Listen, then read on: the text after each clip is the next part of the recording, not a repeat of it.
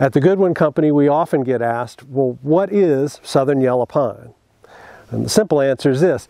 Southern yellow pine is a blanket term. It's an umbrella term that describes 10 species of pines that grow from the traditional, south of the traditional Mason-Dixon line and east of the Great Plains. Of those 10 species, the four that are the most dominant are shortleaf, slash, loblolly, and longleaf pine. So slash pine, loblolly pine are commercially harvested in 15 to 27 years. Longleaf growing from 45 to 50 years before it's harvested.